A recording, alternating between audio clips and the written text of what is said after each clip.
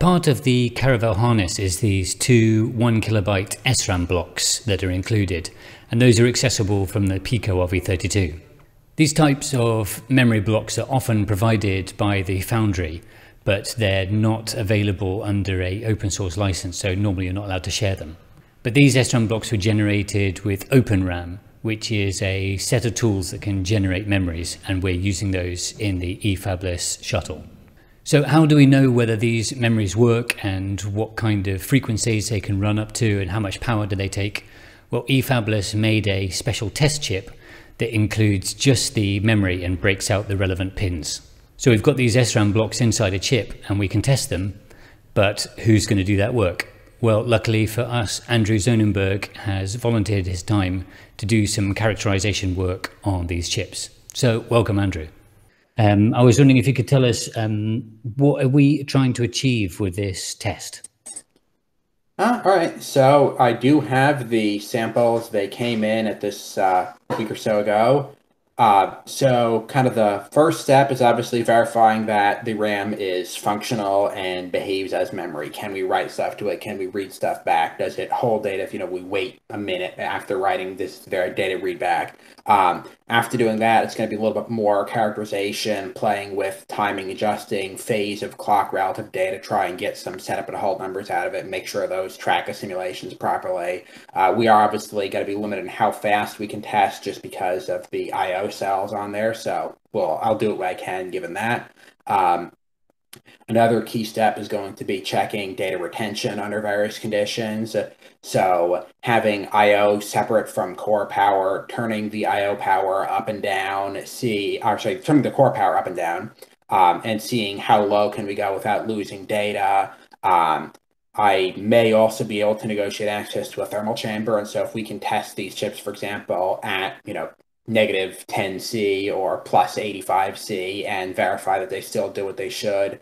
Check at extremes of voltage. You know, maybe they're nominal, I think 1.8 volts. So if we try running them at 1.7, 1.6, 1.5, see when they start losing bets. And so, really, uh, just that kind of validation is going to be the main thing. And uh, I'll do what I can as far as timing verification goes. But again, I expect the I/O cells to be the big limiting factor. So there's there's only so much testing I can do as far as timing goes. And, and we think I, that the bandwidth of the I/O cells is around about 50 megahertz, right? Uh, it, it's low. I forget exactly, but hmm. yeah, they're, they're going to be the limiting factor. I don't think the RAM is going to be the limiting factor. So really, the main thing we're testing is data retention. Power consumption is going to be another thing. So looking at um, on the new board compared to the one they apparently already had that shorted the two power rails together. The new one is going to have the core power and the IO power separate so we can keep the IO power constant and then play with adjusting the core power up and down and measure current, measure data retention, etc. Could you just say a bit more about that um, short circuit issue? Um, so I never saw the previous board, but my understanding is that the die has separate power rails for the I/O cells and the memory core, and the previous board connected those together. Um, this is separate from one of the other chips, uh, Strive, I think it is called, uh, does actually have a short between, and very similar, the core and the I/O power are shorted together, but that is actually an on-chip thing, so that would require a FIB edit to fix. This does not. Okay, so okay, so um, actually, we can do all the tests we need to do without doing a fib edit on this chip. Okay, and just send me some bare dies which haven't come in yet. Those we're going to ship separately, just so I could do some practice runs. Because basically, as far as I'm concerned, the bare open RAM dies are relatively expendable, and so we can do testing on those and then wire bond them and you know make sure everything's working correctly. And if one of those dies doesn't make it, so what? You know, they weren't going to be used anyway.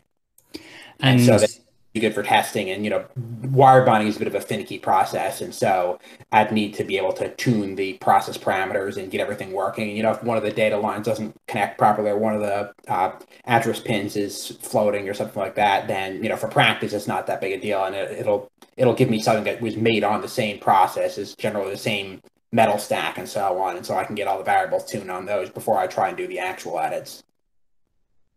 Okay. And same as FIB process development and so on, you know, figuring out etch rates and, uh, you know, do we want to use gas assisted etching or not? How deep the cut needs to be. Um, for people that don't know what a FIB edit is, can you explain that? Uh, focused ion beam, uh, the best way I can think of to explain it is nanoscale sandblasting. So you're hitting the device with a beam of usually, in our case, uh, gallium ions and blasting away parts of the surface. And then you can also, uh, we don't need to do it for this case, but you can also deposit materials using similar techniques. Uh, in and this case, it's going to be one cut, so it should be fairly straightforward.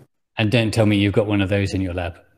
Uh, I do not. We do have one at work, and uh, I hinted to my boss at the idea, and he seemed receptive. So uh, I haven't got official sign off yet, but so far it sounds like they're interested. So fingers crossed on that one then. Okay. Um, so at work too, so uh, I'll be able to do chip on board or something like that once we've finished the edit. We also have some uh, empty like uh, SOIC and QFN packages that I could bond it into. So depending on how many IOs are actually needed for the thing to work, I, will look at either a chip on board or just doing a package that we then solder. Again, it'll it'll be situational. So I haven't looked at the bond diagram of Strive at all, but for Open RAM, the package chips are fine. Okay, and then when we're talking about chip on board, so we're going to need a board for that, obviously. So is that, is that I know nothing about Strive other than that the first version had some minor issues and the second version didn't seem to boot at all. But we're, we're focusing this on the memory chip though, right? Um, so yes, a board is going to be required. It's actually going to be two boards. Um, the first is going to be a reusable carrier that I may try and use for some of the other characterization work as well. I'm going to try and make it pretty generic. Um, it's going to be an STM32 uh, and a small Xilinx FPGA and some voltage regulators and stuff. Uh, and then also, most importantly, and one of the reasons why an off-the-shelf dev board wasn't a good choice for this, is it's also going to have some variable power rails so we can adjust power being fed to the chip under test. And then just some kind of, uh, I'm looking at probably a Samtec Q strip, like a QTH030, QTH060, something along those lines. I haven't figured out the pin count yet. Um, connector. What, that sorry will, to interrupt. What's that? I didn't. Uh, uh something by Samtec. Connector similar to. Uh, oh, so to plug these two boards in. And so the first board, it'll be, you know, I'll only need to make one of them. If somebody else is going to do some of this work, I can make one for them. But for my purposes, I would only ever need to make one of them. That'll have the FPGA and microcontroller that'll run the UART interface for dumping test results and so on. Um, I haven't decided the exact partitioning of work between the two yet, so I want it to kind of be flexible. But the intent is that the microcontroller will do kind of the control flow, figuring out high level test strategies, and then the FPGA is going to be doing all the timing critical stuff. Okay. Um, and then uh, uh, the microcontroller will also have an I squared C or SPI interface to talk to some kind of a DAC that'll set the I/O on core power rails for the device center test. The idea is to be able to fully script all these tests so I don't have to be sitting there poking at stuff. I want to be able to just plug a chip into it, go run through the test suites, look at the results, and so on. Um, anyway, so this would then mate with a second board that will contain the Open RAM test chip and probably a few decoupling capacitors and not really anything else. So that okay. would be a breakout. And, and I just want to say um, thanks to OSH Park for sponsoring those boards. Cheers. And then, uh, yeah, I, I, have a friend that I was actually, uh, I was going to be seeing her later today and uh, asking about uh, the thermal chamber that uh, apparently uh, she had been planning on arranging for some other testing. And so if I can manage to get in on that, that'll be perfect. So cool. So what's the next steps then? Make the PCB Yep. Uh, actually, this morning I was working on the board. The uh, FPGA and microcontroller board is probably about two thirds done schematic wise. I was just uh, talking in the Slack with uh, some of the folks, figuring out exactly how many IOs I need to talk to the RAM chip and what the power requirements are and so on, so I can get all the little details narrowed out. But yeah, probably another few hours of work on that, and I'll have schematic done. Then uh, layout should be, I mean, an afternoon if that uh, I'm using the, well, I was going to use the smallest uh, Spartan 7 Xilinx makes. I'm probably going to put the second smallest in there just I'm not quite sure exactly, uh, you know, what the requirements of the test are going to be, and they're pin compatible, so I'll design it to take either. Cool. And in case with component shortages, it's safer to design for multiple possible parts too. yeah. Everyone's learning this new skill now, so fingers crossed I'll still be there when I click buy. Okay. It's actually only Xilinx part in stock at DigiKey that's less than like 800 bucks, but yeah, I, I, did want to go with something pretty fast. You know, a lot of the iCE40s and stuff are nice for lower speed stuff, but in this case, uh, one of the key features from this Alex stuff that was important to me was uh, the PLL has runtime reconfigurability, and so I'll be able to play with clock rates and phase shifting and stuff at runtime and not have to be constantly loading new bit streams. And so it, it should speed the test programs because again, I want this to be scriptable enough so that I can do testing of multiple different dies automatically. Okay.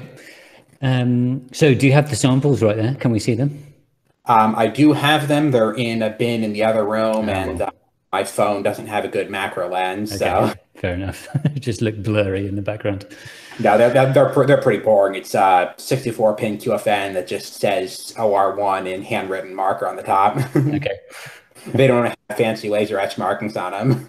Oh, maybe that makes them cooler though.